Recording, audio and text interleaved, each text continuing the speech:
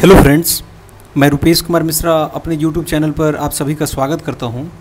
देखिए, आज के वीडियो में मैं बात करने वाला हूँ कॉमर्स के जितने भी छात्र हैं, उनका एक सब्सिडियरी सब्जेक्ट आपका होता है monetary and financial I N S T क्या होता है? Monetary and financial financial I N S T तो इसका मैं आपको यहाँ से 100 ऑब्जेक्टिव क्वेश्चन बताऊँगा विथ आंसर जो यहाँ पे सारा कुछ दिया हुआ है वैसे आंसर उसको मैं बहुत डिटेल में चर्चा करने वाला हूँ। और ये 100 क्वेश्चन जो है, ये एग्ज़ाम के दृष्टिकोण से काफ़ी महत्वपूर्ण रहने वाला है। तो आपको वीडियो को स्टार्टिंग से एंड तक देखना है, क्योंकि यहाँ से आपको बेहतर कॉन्टेंट देखने के लिए मिलेगा। सबसे पहली बात कि बहुत ही डिटेल में हम लोग सौ क्वेश्चन को कंप्लीट करेंगे। टोटल आपको चार साल का क्वेश्चन कंप्लीट करना है अपने सब्सिडियरी पेपर के लिए। सबसे ज़्यादा ज़रूरी है चार साल का क्वेश्चन पेपर क्वेश्चन बैंक से। उसके बाद आपको एक्स्ट्रा जो कुछ पढ़ना है, वो गेस्ट पेपर की सहायता से आप पढ़ सकते हो। वो आपके अपनी इच्छा पर निर्भर करता है। लेकिन जितना मैं बता रहा हूँ, उसको ज़रूर फॉलो कीजिए। साथ में एग्ज़ाम में आपको कैसे कॉपी लिखना है और आंसर कैसे बनाना है, अगर आंसर नहीं भी पता है तो इससे रिलेटेड मैंने वीडियो अपलोड किया, जाके देखिए, आपको एग्ज़ाम में वो भी हेल्प करेगा। तो वीडियो में आगे बढ़ने से पहले चैनल पे जो लोग नहीं हैं सब्सक्राइब कर लीजिए ताकि आपको इस तरह का कंटेंट और यूनिवर्सिटी का अपडेट नोटिफिकेशन समय समय पे मिलता रहे। एक और बात टेलीग्राम चैनल का लिंक डिस्क्रिप्शन बॉक्स में ज्वाइन कर लीजिए। वहाँ पे आपको यूनिवर्सिटी का हर एक अपडेट नोट्स मटेरियल का पीडीएफ सब कुछ मिल जाएगा। आइए बात करते हैं बी पार्ट टू के लिए कुछ इंपॉर्टेंट क्वेश्चन पर। बैंक दर वह दर है जिस पर भारतीय रिज़र्व बैंक ऋण प्रदान करता है। सबसे पहला क्वेश्चन है, इसका ऑप्शन हो जाएगा बी व्यावसायिक बैंक। इसको हम लोग बोलते हैं कॉमर्शियल बैंक इंग्लिश में। तो right option will be option B second देखिए, जब मुद्रा की आपूर्ति बढ़ती है, मुद्रा की आपूर्ति बढ़ती है और मुद्रा की मांग घटती है तो वहाँ क्या होगा? वहाँ ब्याज के दर में क्या हो जाएगा? कमी हो जाएगा। ब्याज के दर में कमी। ठीक है जी? हमें अपने बचत बैंकों को रखनी चाहिए, क्योंकि बैंकों में रखने चाहिए बचत, क्योंकि यह सुरक्षित है, ब्याज कम आता है और किसी भी समय वापस लिया जा सकता है। इसीलिए बचत बैंकों में रखना चाहिए। उपरोक्त सभी वाला ऑप्शन इसका सही होगा। देखिए, एक बात याद रखिएगा, अगर आपको आंसर नहीं भी पता है ना तो ऑल ऑफ़ द अबव अगर कहीं पे ऑप्शन में है तो उसको ही ओएमआर में रंग दीजिएगा। कॉमर्स वाले छात्रों का कमेंट आ रहा था कि हमारा कंटेंट आप नहीं अपलोड करते हैं। तो मेरे पास जैसे ये इस सब्जेक्ट का आया मोनिट्रियल फाइनेंशियल आईएनएसटी का तो मैंने सोचा कि चलो कॉमर्स का ये कंटेंट अपलोड कर दिया जाए। वैसे मैंने ऑनर्स का, आपका जो अकाउंटेंसी ऑनर्स है, जैसे corporate accounting and business regulatory framework करके, उसका गेस्ट क्वेश्चन मैंने चैनल पर अपलोड कर दिया है। चाहो तो जाके आप देख सकते हो। वीडियो में चेक करोगे, आज से लगभग महीने भर पहले अपलोड हो चुका है। बात आता है अब सब्सिडियरी और लैंग्वेज पेपर का तो धीरे धीरे सब कुछ हो जाएगा। फ़िलहाल हम लोग चौथा क्वेश्चन देखते हैं। बैंक किनके सहारे ऋण नहीं देता है? लॉटरी टिकट तो ऑप्शन इसका सी होगा। बहुत ज़्यादा दिमाग नहीं लगाना है, जितना क्वेश्चन बता रहा हूँ डायरेक्ट उसको पढ़िए, याद कीजिए, एक बार में नहीं समझ आता है, दोबारा वीडियो देखिए, और वैसे मैं बाद में इसका पीडीएफ तो दे ही दूँगा, फिर पीडीएफ से रीड कर लेना। इसमें आप कोशिश कीजिए कि 90 से कम मार्क नहीं आना चाहिए आउट ऑफ़ 100 सौ में कम से कम 90 आ जाए। वैसे मेन आपका ऑनर्स का पेपर मायने करता है, इसका मार्क कि इसमें आप कितना अच्छा प्रदर्शन कर रहे हो। लेकिन सब्सिडियरी को भी उतनी ही वरीयता देना है, ये नहीं कि इस पेपर में आप प्रमोट हो जाओ। प्रमोट हो जाओगे तो फिर बड़ा लफड़ा लग जाएगा। भारत में अधिकतम शाखाओं वाला बैंक कौन सा है? तो यह है भारतीय स्टेट बैंक।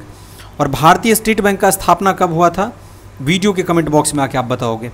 एटीएम का पासवर्ड में रखना चाहिए। ऑटोमेटेड टेलर मशीन का पासवर्ड में रखना चाहिए। मेमोरी याद रखना। ऑप्शन क्या हो जाएगा? सी।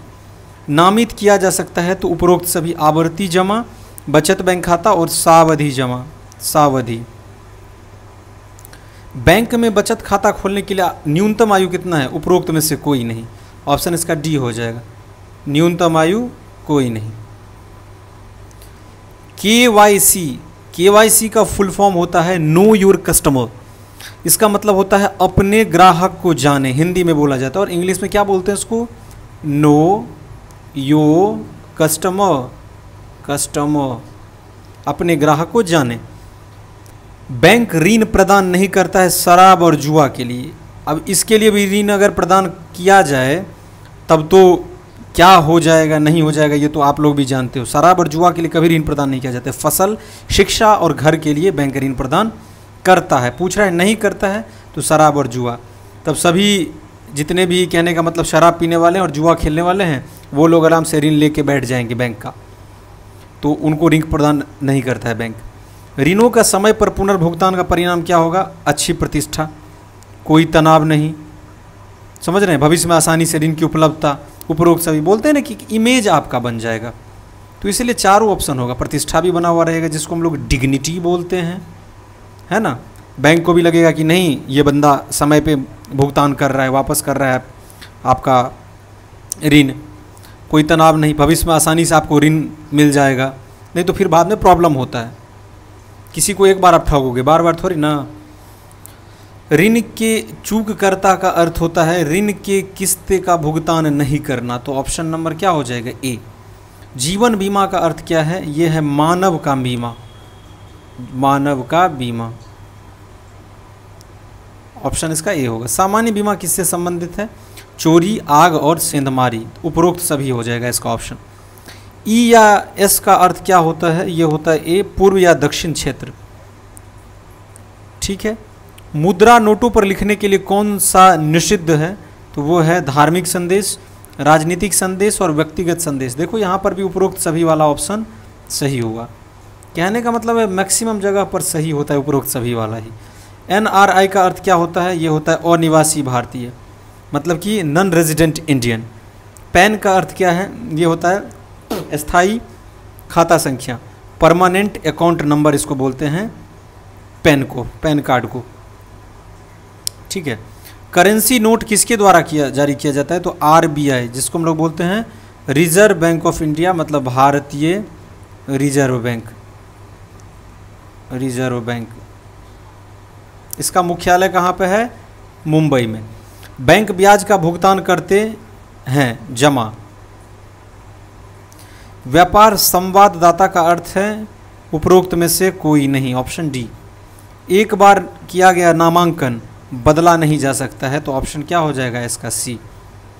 टीडीएस का अर्थ क्या होता है? टैक्स डिडक्टेड एट सोर्स, स्रोत पर कर कटौती। टीडीएस का मतलब होता है tax deducted deducted at source. Source मतलब होता है स्रोत डिडक्शन मतलब होता है कटौती और टैक्स मतलब होता है कर। तो इसी का हिंदी मतलब हुआ स्रोत पर कर कटौती। बैंक ड्राफ्ट के द्वारा जारी किया जाता है। उपरोक्त सभी क्षेत्रीय ग्रामीण बैंक, निजी क्षेत्र के बैंक मतलब प्राइवेट वाला बात कर रहा है और सार्वजनिक, ऑप्शन सी। स्वयं सहायता समूह में शामिल है। इसका आप मुझे कमेंट बॉक्स में आके आंसर बताओगे, क्योंकि यहाँ पर नहीं लिखा हुआ है। आप कॉमर्स के छात्र हो तो आपको पता रहना चाहिए। मेरा अगर कॉमर्स स्ट्रीम रहता है तो मैं बता देता आपको। यहाँ पे खाली है तो ये आप बताओगे। चेक का भुगतान रोका जा सकता है। चेक को लिखने वाला इनके द्वारा ऑप्शन सी इसका हो जाएगा।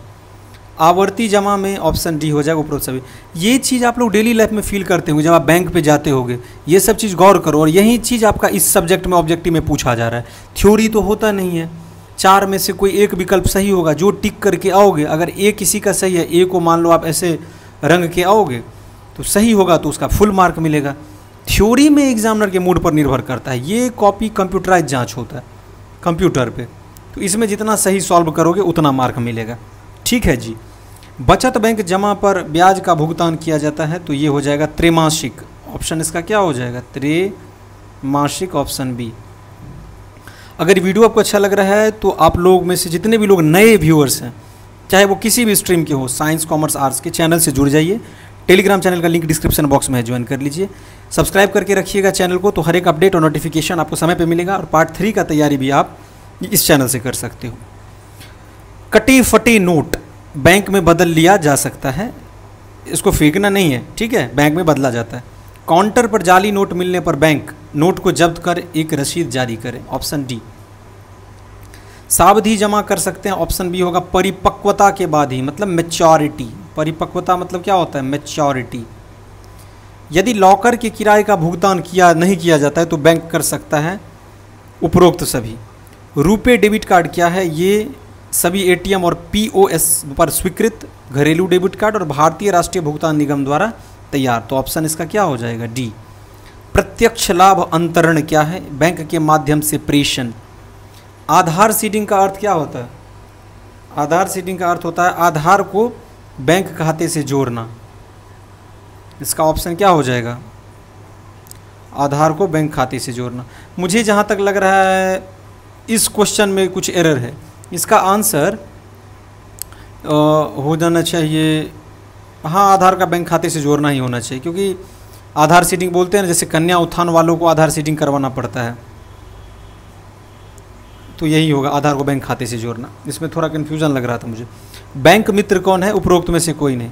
बुनियादी बैंक बचत बैंक जमा खाता खोलते समय ऑप्शन बी कोई न्यूनतम जमा की आवश्यकता नहीं है। किस प्रकार की जमा राशि पर अधिक ब्याज दर पर प्राप्त होती है? तो सावधि खाता। चेक की वैधता अवधि क्या है? जारी होने की तारीख से तीन महीने। क्या अनपढ़ व्यक्ति को डेबिट कार्ड जारी किया जा सकता है? बिल्कुल। इसके लिए कोई क्वालिफिकेशन का ज़रूरत नहीं है। कि हाँ व्यक्ति पूरा तरह से लिटरेट हो, पूरा विद्वान हो, पढ़ा लिखा हो, तभी हम लोग डेबिट कार्ड देंगे। ना जी। अनपढ़ व्यक्ति इलिटरेट को भी जारी किया जा सकता है। इकतालीस का राइट ऑप्शन सी होगा वित्तीय प्रणाली। बयालीस का देखिए कौन भारतीय वित्त प्रणाली में नियामक संस्था नहीं है तो ऑप्शन इसका डी होगा I R D A I R D A भारतीय वित्तीय प्रणाली की रानी माना जाता है आरबीआई को रिज़र्व बैंक ऑफ़ इंडिया को। अब राजा कौन है, ये आप लोग बताओ। राष्ट्रीय आवास बैंक की पूर्ण स्वामित्व वाली सहायक कंपनी कौन सी है आरबीआई वित्तीय संस्थानों को डी हो जाएगा उपरोक्त में से कोई भी। भारत का सबसे पहला वित्तीय संस्थान कौन सा है? I F C I I F C I I D B I I की स्थापना कब हुई थी? तो ये हुआ था आपका उन्नीस सौ चौंसठ में। बहुत इंपॉर्टेंट क्वेश्चन है, याद रखिएगा। सभी वित्तीय संस्थानों में की गतिविधियों के समन्वय पूरक और एकीकृत करने के लिए एक शीर्ष संस्थान है SEBI, stock exchange board of India. ठीक है जी? निम्नलिखित में से कौन वाणिज्यिक बैंकों की संपत्ति नहीं है? चालू जमा खाता करेंट के बारे में बोल रहे हैं करेंट अकाउंट निम्नलिखित में से कौन सा संयोजन सही है?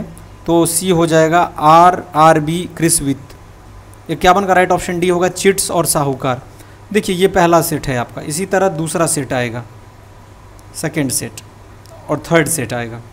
तो आपका चार साल का लगभग क्वेश्चन कंप्लीट हो जाएगा. चार सौ क्वेश्चन हुआ चार साल का. बीस से आपका ऑब्जेक्टिव टाइप क्वेश्चन एग्ज़ाम में पूछा जा रहा है.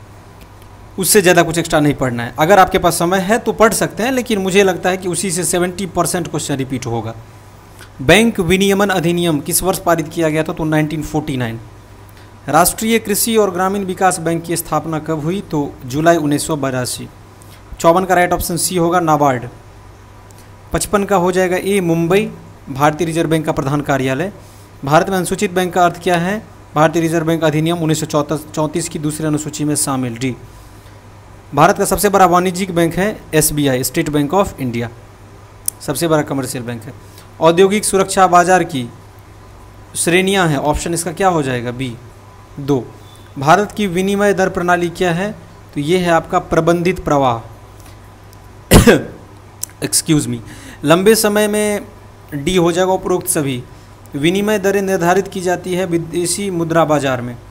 एक मुद्रा का दूसरी मुद्रा के लिए तत्काल विनिमय है स्पॉट लेन देन एक महीने में यूरो बैंक जमा के लिए, डॉलर बैंक जमा का आदान प्रदान करने का समझौता क्या है? फॉरवर्ड लेन देन अठहत्तर का राइट ऑप्शन ए होगा आरबीआई अधिनियम 1934 कौन सी एजेंसी एनबीएफसी को नियंत्रित और पर्यवेक्षण करती है? तो आरबीआई। 80 का राइट ऑप्शन सी होगा 60 डाटा बेस्ड क्वेश्चन है, याद रखिएगा। इक्यासी का ए हो जाएगा 25 लाख रुपया। बिरासी का ए क्षेत्र निधि। क्षेत्र निधि। पट्टे पर दी गई संपत्ति, तिरासी का राइट ऑप्शन पट्टाधारी, चौरासी का बी हो जाएगा 1969 भारतीय औद्योगिक वित्त निगम आई की स्थापना कब हुआ था? इंपॉर्टेंट है 1948 में।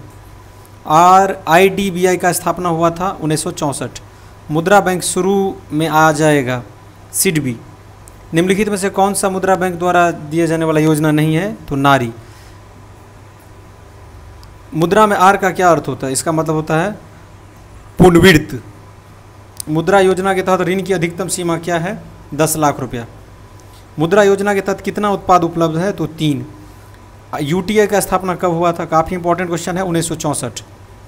निम्नलिखित में से किस शहर में यूनिट ऑफ़ इंडिया का मुख्यालय स्थित है? मतलब हेडक्वार्टर मुंबई में। जीवन बीमा क्षेत्र का राष्ट्रीयकरण कब किया गया था? तो ये हुआ था उन्नीस सौ छप्पन। सामान्य बीमा परिषद का गठन गठन कब किया गया था? 1938 को।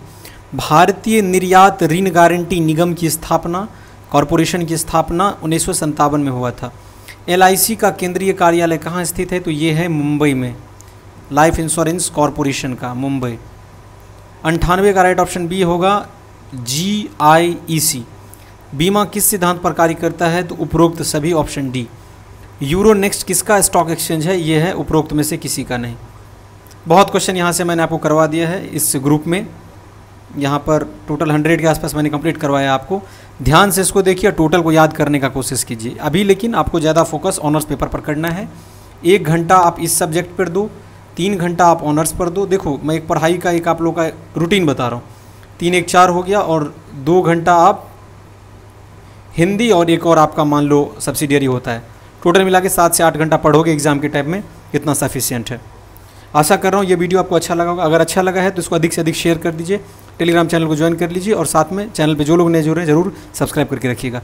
हमारे साथ चैनल पर जुड़े रहने के लिए अपना कीमती वक्त देने के लिए आप सभी का बहुत बहुत धन्यवाद।